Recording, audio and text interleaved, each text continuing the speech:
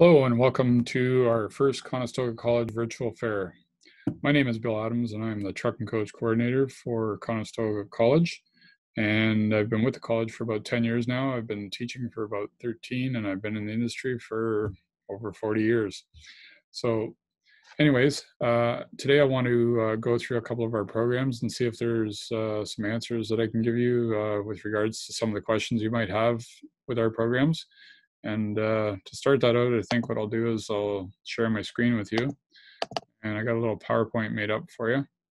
And uh, we'll go through that and see if we can answer some questions. So first of all, I want to look at the two programs. The first one is the Motive Power Techniques program, 1384, and it's a one-year certificate program. Uh, the second one is our Motive Power Technician program, uh, 0731, and it's a two-year diploma program. Um, in our department, we have uh, several faculty members with uh, a variation and a vast amount of experience in different aspects of the trade. Uh, we have guys that have been in dealerships, uh, some have been in independent shops. Um, we have some guys with, uh, you know, that are fairly new in the trade uh, that have become faculty. We also have some guys that have been around for a few years and um, have quite a, a large experience in the trade. So um, we have a, a, very good contingency of people that can deliver a good product here. So um, these are just some of the names that uh, you'll see around the campus. We have some part-time people that come in and fill in as well. So, and again, they bring their own uh, experience with them. So we have a, a, lot of people that can fill the void uh, wherever happens to be. So today, uh, the two programs, the Motor Power Techniques program, this is a one-year program. It basically has two semesters. They run from September to December, and then we take a break, and then from January to April. Uh, it's an Ontario College Certificate program, so if you have successfully completed all the courses in this program, uh, you will walk away and graduate with a certificate in hand, and you can enter the trade at that time. Uh, it's designed to prepare our students for a career in the truck and coach industry, and I'll talk about those different careers later. Um, and at the end, we're hoping that uh, you will get a level one apprenticeship equivalency, which means that when you're done with this program, you basically have done the same things that an apprentice has done in level one. And as long as the employer and the ministry agree, you can become a level one apprentice in your new job. So I'm not going to go through all of these courses, but uh, there are uh, quite a few courses that you're going to look at in semester one and semester two, which is the full year. Um, and basically what you're looking at here, we have, uh, um, you know, some of the courses that we would do with uh, most of our programs, reading, writing, math, and all that. And then we get into some of the level one um, introdu introductory stuff to the level one apprenticeship. So we have uh, drawing, schematics, basic electricity, uh, we look at trade and repair practice where you're uh, learning about the shop and you know jacking up pieces of equipment and hoisting uh, engines and stuff like that, and and the safety aspects, WHMIS, uh, those are all part of that uh, that piece. Um, we also spend a long period of time with introduction to truck and coach, and that there's a, a nice piece because there's a lot of hands-on involved in it um, we built this program around that that part of it because we want to make sure that when you come in here you enjoy the experience of working on the truck and everything and uh, you'll be spending a lot of time in the shop. Um, we also throw in some welding in there and we have a very nice welding shop here. Uh, the welding portion of it uh, we build on that as we go the semester two, the uh, January to April portion, we go into uh, a little bit of business, uh, teaching about uh, how a shop runs and whatnot. We look at all the legal issues and motive power, so some of the things that you might run into in the shop.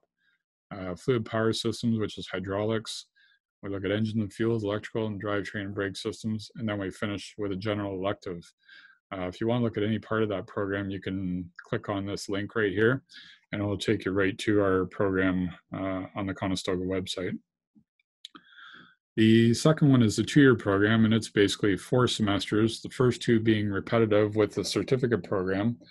And uh, so the first two semesters, you'll do the same as a certificate program, and then you'll go on to semester three and four, which uh, basically, oops, sorry, which basically entails going through level two apprenticeship equivalency uh, courses. So again, we'll sorry, we'll, we'll take on uh, motive power business two, which is basically uh, you know an add-on to the the first or the second semester there. Uh, we'll do some shop management, which is these two in com- combination are basically all about how to run a shop and whatnot. Uh, we'll look at some more trade praxis, some engine systems during suspension brakes. Here we'll look into some uh, engine emissions and whatnot. Then we'll go on to semester four and we'll get, get into some applied engine failure analysis where we'll take broken parts and we'll teach you how to analyze um, how these parts broke and whatnot. We'll look at some electrical diagnostics and repair, uh, electric hybrids, parts management, uh, if you want to be a parts uh, parts manager or parts person. Um, we'll look at fuels and diagnostics. And again, there's two more electives that have to be done. And again, the link is there for you. So I wrote down uh, five quick reasons as to why I might want to take one of these courses at uh, Conestoga College. And um, the first one is that uh, when we look at our students, we look at, uh, you know, we want to make sure that when you go out into the industry, you're very prepared for what you're going to get into. So we make every provision possible to make sure that your experience at the college is a positive one. Uh, we base a lot on respect, and we try to give you the best product that we can, and make sure that uh, it's a very satisfying experience for you here at the college. Uh, second one, Conestoga College is a top college in the motive power industry. I've been with the college, like I said, for 10 years now, and I've watched our uh, motive power sector grow uh, exponentially. It's uh, you know, it's we've been uh, our programs have been outgrowing the actual building that we're in. So uh, hopefully, in the coming years, we're going to be moving over to a new building um, in Cambridge. Um, and I'm sure if you've been watching the news, you've seen the announcements. So uh, we are growing very quickly. Uh, the industry itself, uh, we're experiencing a large shortage of technicians right now. So pretty much anyone that wants to be in this trade will be able to walk out of this college when they're done and find a job. It's it's almost guaranteed. If you want to be in this industry and you can apply yourself, you will find a job in this trade with no problem. Um, college is at the forefront of the industry, providing our students with the latest and greatest in technology and teaching methods. All of our staff uh, are constantly upgrading and trying to keep up with industry um, because the industry changes uh, very rapidly right now. We're we're getting into a lot of electronics and stuff like that on our trucks, and uh, we have to adapt to that. And uh, we we do our best to keep up with it. Um, as far as uh, what goes on in the shop, we try to update our equipment all the time and make sure that it's all uh, state of the art equipment that you guys would use in a shop. Um, so we're always upgrading. Uh, and the last one, all of our faculty have extensive experience in the industry and are constantly upgrading. That's kind of what I just said, but um, we're trying to make sure that uh, we're using the latest, greatest technology in our delivery, uh, being like this, like a virtual online presentation or videos or, um, you know, whatever it is. We're trying to give you the best way we can possible to deliver that and make sure that you understand uh, what it is you need to know for uh, this program. So uh, that's basically the first five things that came to my mind when I came up with this fast facts. Bring your own device. This is something new this year. We're looking at uh, implementing this, and what we want to do is we want to encourage our students to bring in laptops, tablets, cell phones, uh, whatever de- device uh, you feel comfortable with being in a classroom. And uh, I've listed all, all the requirements there. I'm not going to go over them, but what I want is for you to understand that uh, when we're in the classroom presenting, uh, we want you to be able to take that stuff away with you. And if you didn't get it in class, go back and play it back and, you know, make sure that you understand it so that, uh, you know, when you're writing your test or you go to get prepared for the C of Q or the certificate of qualification, that you've actually got all the information you need and that, uh, you know, it's easier for you to access. So again, bring your own device is going to be new this year. We are looking for everybody to do this. Um, and you know it's i think it's a good thing going forward um, we're told to embrace technology and i have no problem with that um, so that's where we are as far as getting into the industry, there's a couple of different ways you can do it. We can go through a traditional apprenticeship, and I'm not going to spend a lot of time on this, but um, basically, what you do is you go out and you find a job in a shop um, or in the industry somewhere. Uh, you need to be signed on as an apprentice once you have landed that position. And then what you do is uh, you'll probably work for about a year, and then you'll get a, an offer letter from the ministry, and they'll say, um, you know, it's time for you to go to school for level one, and then a year of work, and then level two, and a year of work, and level three. And basically, that's how you would go through your apprenticeship. And it takes about three to five years to go through that process.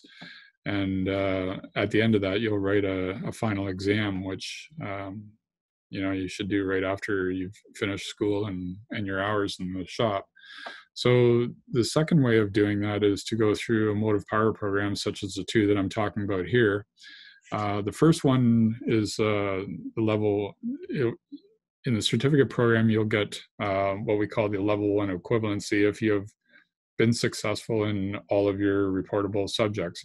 So if you've uh, successfully completed the subjects after the certificate program is done the first year, uh, you're uh, able to get a level one equivalency. So if you go into a shop, the manager, whoever hired you, can look at you and say, um, "Yes, I agree that he's level one equivalent." And now it, it basically takes you um, onto the start of level two in your apprenticeship. Uh, so you don't have to come back to school for level one. Okay. If you do the diploma program, it's basically the same, only now you have a level two equivalency when you go into the shop, which means you would be heading towards your level three. Um, we've had a number of students go through this process and it works out very well for them. So uh, basically, you're in school for a year or you're in school for two years, and then you go out into the trade, and then you're on the the home stretch to to go for your license. So again, you're looking at three to five years. So what careers can I get into? Well, there's all kinds. Um, I've named off, I don't know, about 20 here, but um, the first three here, uh, service technician, shop foreman, service manager, those are fairly obvious ones. Um, parts counter, parts manager, aftermarket specialist. You know, some of these are, uh, you know, they're pretty normal for uh, us to look at and get into, but then you can get into some different things like diagnostic specialists. You can be a specialist in glass or electronics or security or um, a number of things. Or if you want to be a shop owner or dealer principal, those are within the realm of this program as well.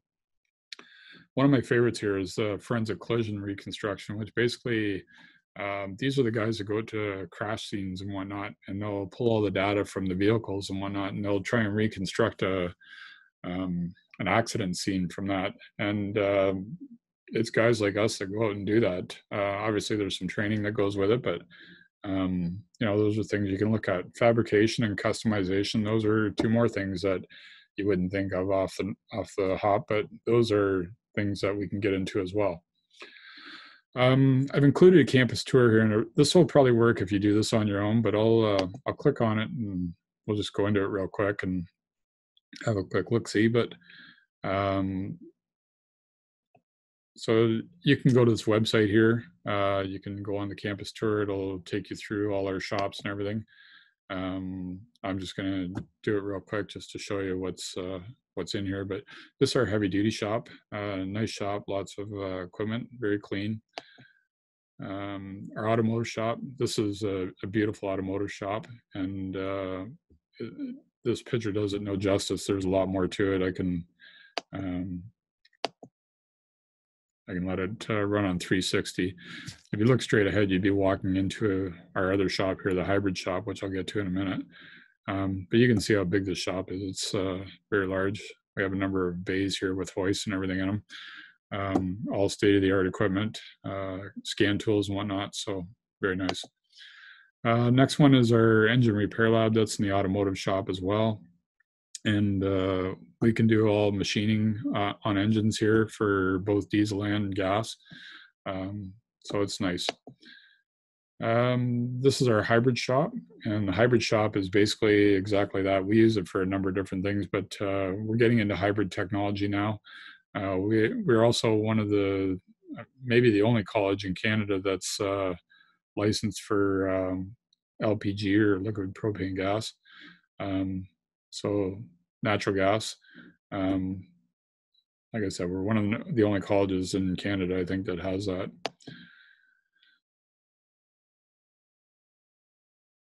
This here is our flex shop, and we can use this uh, kind of as a universal shop. We run automotive on one side for a while, and then we run um, some of our heavy equipment operators on the other side. Um, again, it's a shop that we can use.